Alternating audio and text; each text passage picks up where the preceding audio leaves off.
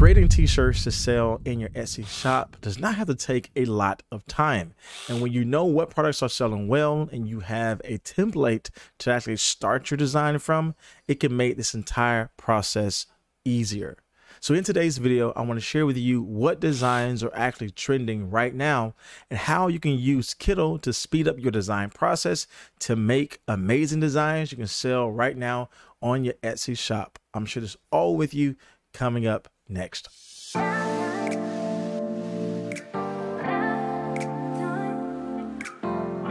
So welcome back to the video, my friends. You're new here. My name is Jay on this channel. Teach you how to make passive income online by creating and selling your own products. So if you like content like this, then consider subscribing to my channel. So making t-shirt designs do not have to be difficult. By using a program like Kittl, you were able to start from a template to redesign this and to fit this into what you believe will sell well on Etsy. And Kittl has a large amount of templates you can use for your t-shirt and other print-on-demand products, and they are created by graphic designers, which makes your entire process of using this easier. Now, if you want to check out Kittl on your own, I make sure I leave all the details in my description box below for you to get started and to see if this is best for your print on demand business. So the niche that we want to focus on today is the teacher niche. And the reason for that is that we're in a season now where we're getting ready for back to school and teacher shirts sell great all year round just in general but especially in certain particular times of the year like going back to school where we see an influx in teacher t-shirts. So one of the things we want to focus on is utilizing this trend in our design where we're targeting specific grade level teachers and creating a shirt for them. So in our case today we see this fourth grade teacher shirt doing well has 20 plus people in the cart. Again i go over here to this other shirt here. It says kindergarten teacher shirt and third grade teacher shirt really personalized to whoever the teacher is. It is a best selling design here. And again, 20 plus people in the cart. And I have another example here, first grade team shirt, bestseller, 20 plus people in the cart. So this is an easy way for you to, to niche down. If you are thinking about creating a teacher shirt, just focus on, you know, what type of grade level can I create it for? And we definitely want to pull out some elements that we know to work well. We see this color palette is working well, this boho color. We see also this thin line script font for teachers working well. And we see some heart elements on top that's working well also. So we definitely want to jump into Kittl, kind of grab these things that's working well and find a way to create this very easily and very quickly by utilizing their templates to speed up our entire design process. All right, so here we are in Kittl, and one of the things we definitely want to go to t-shirts just for you to see so many different templates you can create from. Again, starting from a template will make your entire design process a whole lot easier and go a whole lot faster because again, you can take what works in that so you can just change some things over uh, into your own creative design, but again, you're not starting from scratch. Now, what I like to do is just be focused on what is actually in Kittl right now because there are a ton of creators creating templates. So I definitely want to focus on things that are geared towards my niche because you never know, you might find something that works out well. Now, as you can see, we have a number of things we can start from, and it's utilizing some of those popular font designs and elements already there in the space. And now it's just for us to take what's here and recreate this in our own special way. So the design I want to take here to create my teacher shirt is this one right here. I can simply click on this and recreate this in our own special way. All right, so here we are in Kittl. And one of the first things I want to do is just take away this major element here because again, we're going to focus on a simple teacher retro design. And So this middle part I don't need. This entire design is one solid piece. So I would just simply delete this. Now, the reason why I like using templates is because some of this stuff on here we're going to keep and uh, kind of change the order of it and the size of it to fit our design. Now, one of the things I want to do here is go to this bottom break area and I want to change this over to where it says teacher. So let me just first put this where I want it to be. Again, I can move this around to save this for later. I can hit ungroup and just move this around so, can, so that it won't be in my design area. All right, and I want to go in here and start changing the text. Being that this is already dialed into the style that we have, I don't really have to do too much to this, just change the entire text. All right, so as you can see, we changed the first part of our text, but we want this to say the full word teacher. So what I would do here, I was go back to my first letter and just hit right click. I want to copy and I want to hit right click again and hit paste. And now I have a new letter I can change. So let's change this. And I want to go back through the cycle of colors, head over to E again. And I want to copy this and paste this and change this over to the letter R. So now I have all the letters together. Now I need to regroup this to place this properly on my t-shirt. So I just want to group these together. Move this over just a tad bit, to give me some room. Now I want to ungroup these here. Move this over to the side. Move that over as well. Though it's not lining up perfectly, I can regroup this. Right click, group together. I can shrink this a little bit smaller so that it can be in my area. And then I can ungroup this just to make sure everything is lined up the right way. All right, so here we have our teacher right here in the middle. Now, one of the things I want to get rid of are the words at the top and at the bottom. If you want to use that for your design, you can. But in our case today, we just want the retro design to be focused on the teacher, nothing else. So I'll go up here click this and hit delete. Go to the bottom, click this and hit delete as well. So we're going to utilize these flowers here in a little bit, but one of the things I want to go to next is my text.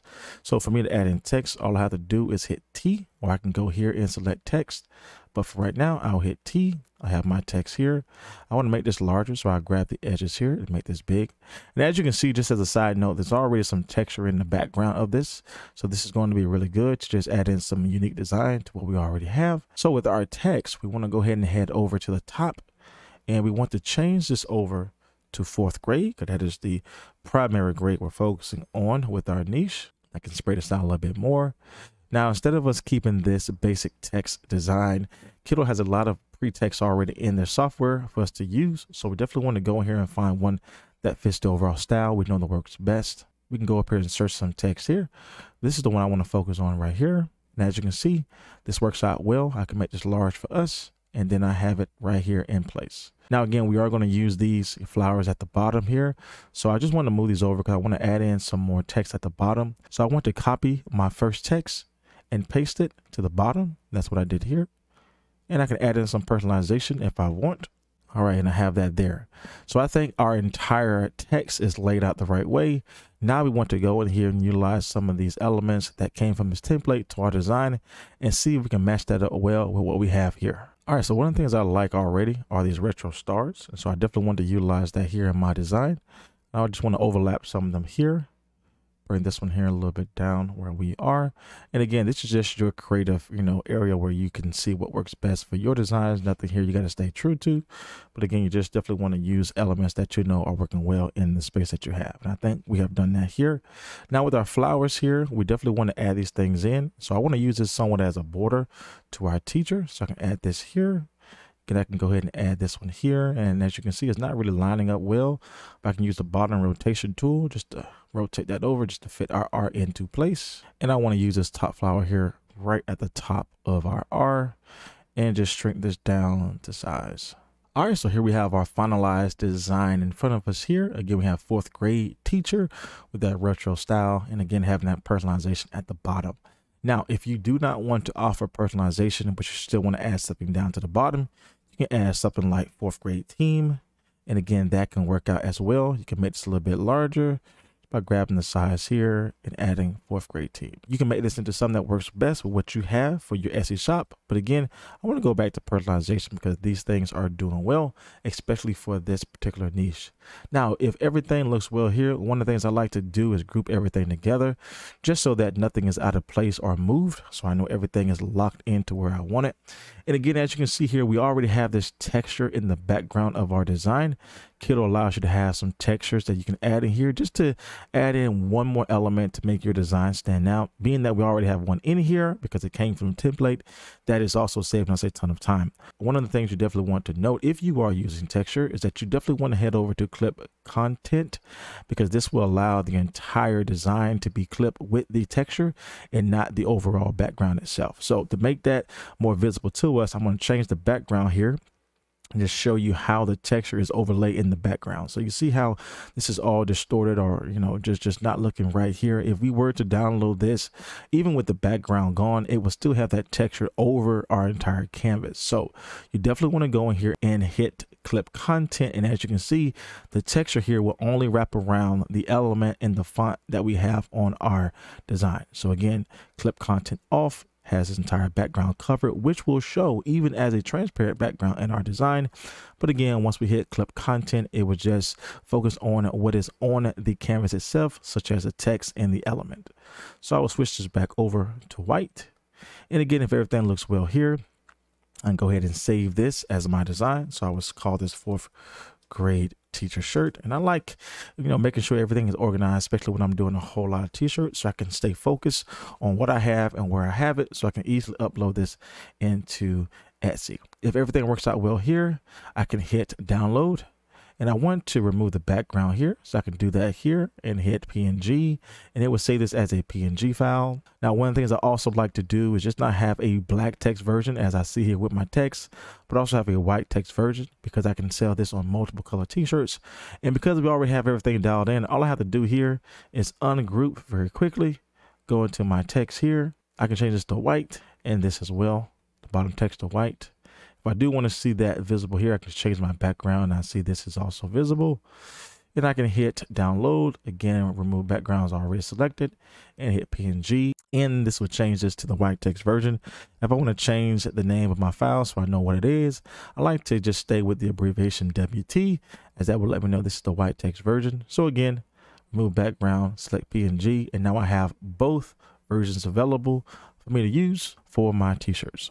All right, so here we are in Canva. I like using Canva to really lay my designs on my mockup images. So I have my design here for my particular shirt here, this dark heather gray, and I'm definitely going to use the white text version that I have here.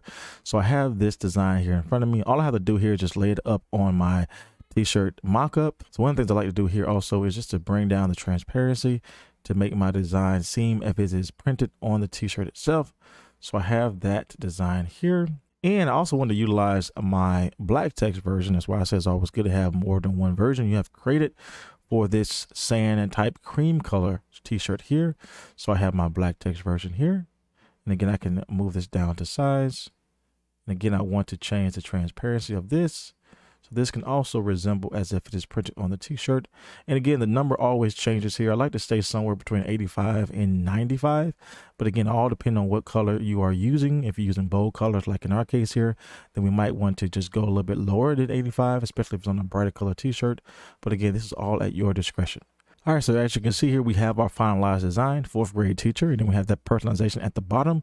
Again, we have our white text version here, and we also have our black text version here. And again, this is just how easy it is for you to go into Kittl, create designs that are selling well on Etsy, and kind of move that over into your own creative style and to bring something new into a demanding space, especially right now in the summertime for teacher t-shirts, because we know these things are already going to do well when we get to that back to school uh, season in August and September you can take this design style that we created in Kittl and make it for other grade levels. Again, this is how we're able to get consistent sales because we're niching down. So if I'm in the space here and I'm already batching content here for my t-shirt business, I can go here right here in this space and change this to fifth grade and to download this white text version, download this black text version. I have a whole new t-shirt to sell.